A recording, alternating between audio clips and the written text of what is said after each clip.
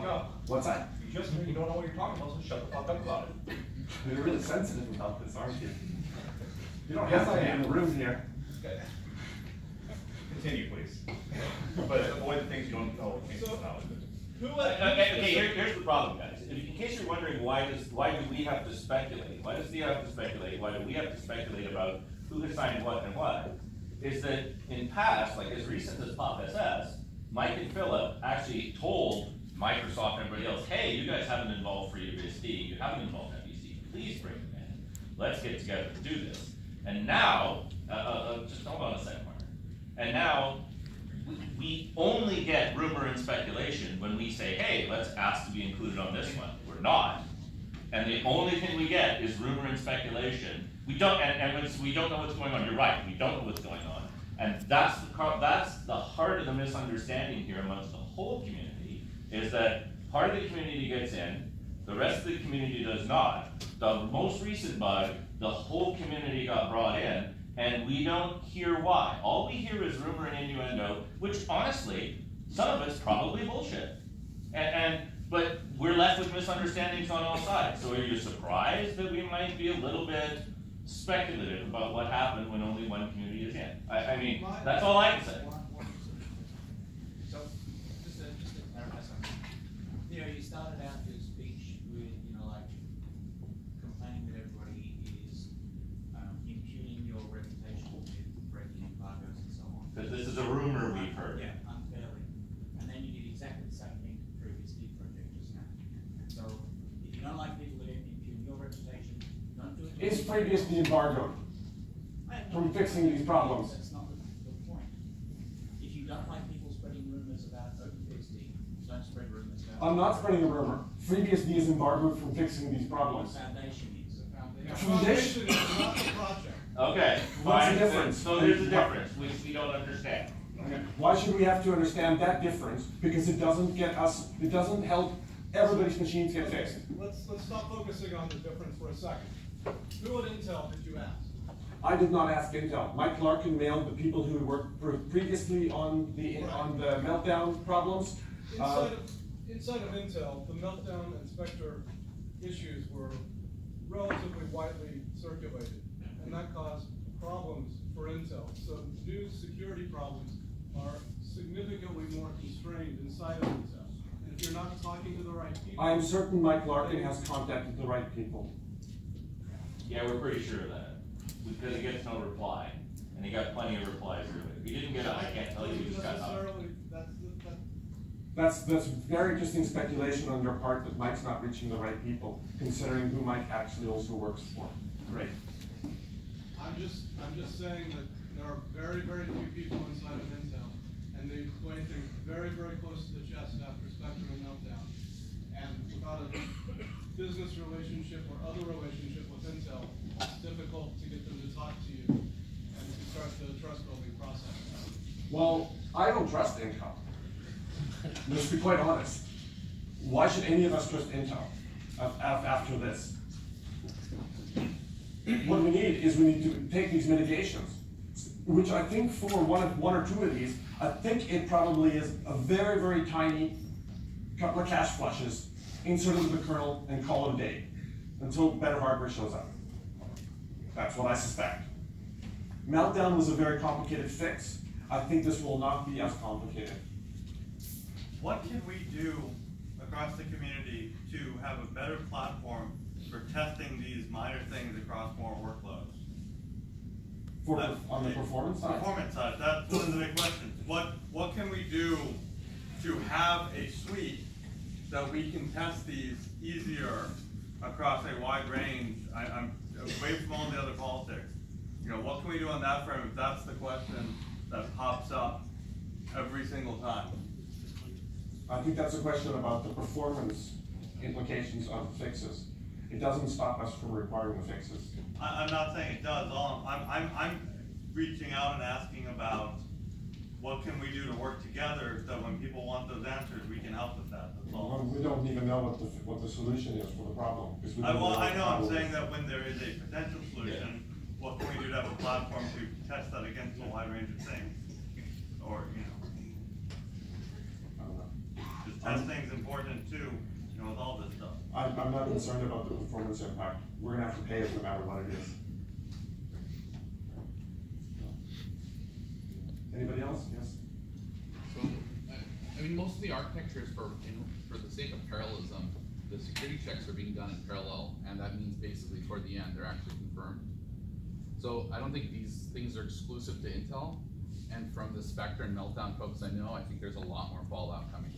I don't think it's just one thing. I don't know to what extent the cost of the fixes will be. I think this one's gonna be cheap. I think it's just gonna be a couple of cache flushes compared to what Meltdown was. Meltdown was a very serious, um, rejiggering, because you have to touch CR three twice on a round trip for a process, and there's no other way of doing it. Philip Guenther tried to find ways of doing it without touching CR three a second time around, but the solution, all the other solutions he invented were actually also slower. So, but that's meltdown. Back in the Spectre, things are not quite the same.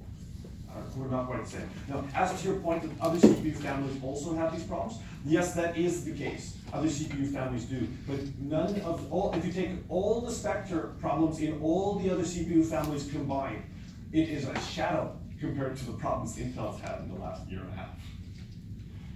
It's minor. Sure, but, but the class of problems that I'm talking about are all the speculation ones. All the major processors have hundreds of instructions that flight at any time, Yep. so we're gonna see plenty of Yeah, more yes, yes, but, but very few CPU architectures actually went, um, and did speculative loads and didn't consider the TLB and cache side effects. Just ignored them. But AMD did a lot better here. So we'll see, we'll see. Over there in the corner? Uh, I'll just preface this by saying, uh, I am a FreeBSD developer, former security officer. I have not signed any NDAs. I don't know any about any of these potential future issues. Um, but I am very concerned that there will be more fallout from the existing issues we know in Intel CPUs being exploited in new ways. Uh, at the top of my list, uh, Uh, I think it's very likely that some BPF implementations in the kernel will have issues where they uh, misspeculate on what the opcode is and start the, the CPU starts executing code which ends up loading something from kernel memory. BPF is running in kernel memory already, um, and then later on, uh, it turns out no, that it mispredicted the branch. It's a different opcode it's, it's executing. So I, think uh, we need to spend a lot of attention on looking for other ways that the existing the, the, the, the, known speculative ex- execution issues can be exploited. Um, in, in addition to speculating about potential future uh, issues to be found in Intel CPUs.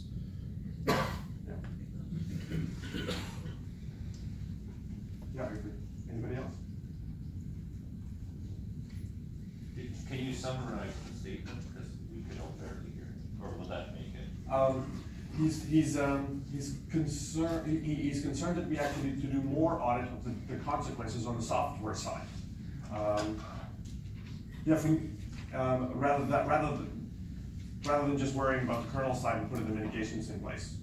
Um, I think, yeah, yeah. Yeah, given all the fixes in OpenBSD right now, is there any modern Intel CPU that you like more than the others? Or are these bugs consistent across everything? The AMD cache architecture avoids this problem largely. Their cache their cache essentially has three states for a line. Allocated and invalid, allocated and valid, and invalid. When they speculatively fetch ahead and load something into a cache line, it is not marked valid until instruction completion and commit. If another instruction accesses the same cache line, speculatively, it stops. So you end up with a minor bit of Spectre occurring there, especially because of cache eviction and TLB evictions, which people will eventually come around to recognize that you can time evictions in direct map caches. Those are there, but the, but the, the concerns are far smaller than they are with what, with Intel's design.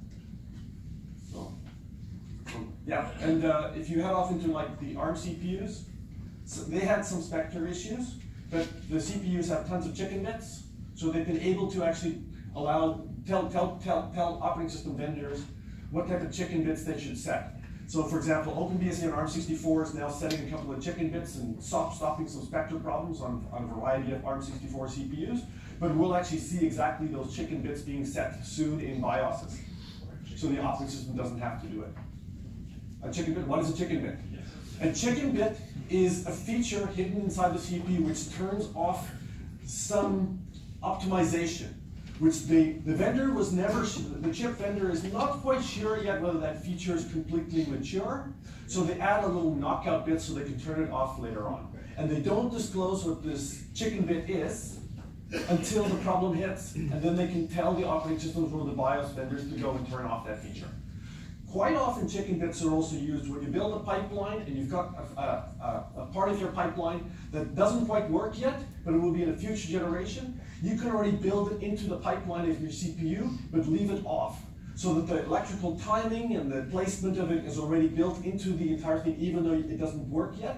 So that later on, when you get that feature working, you then don't have to then add it late into the CPU architecture. It's already wired in. You've done the preliminary engineering as to how it fits timing wise. So that's what chicken is. So, yes. Anybody else? Is there something back there? No? No? Okay. Open discussion or are we just done? Thank you for listening. Anybody want to talk to me afterwards? Find me in the corner. I've, I've, I've got about an hour before I gotta catch a flight. Just So, one. one question. Yeah. Um, so some people still use Core 2 Duo CPUs, hoping that they are better, and they are buying all ThinkPads. Is that anything that anybody in the room actually supports? Um, I, I, I don't know if the old C, okay, very, very old CPUs will be exempt from this, but you have to go really far back. So the speculative execution showed up in the NetBurst architecture, which is just after Pentium 4. So I don't think Core 1 will even help you. Yeah. I think it has it as well. And remember, Core 1 was broken. Core 1 would speculatively load page table entries through the cache and had a bug where they forget to where they forget to write out the modified bit of a page table entry. So, so speculation has been part of the Intel optimization scheme for quite some time. So, yeah. Okay. Thanks. Thank you very much. Appreciate it.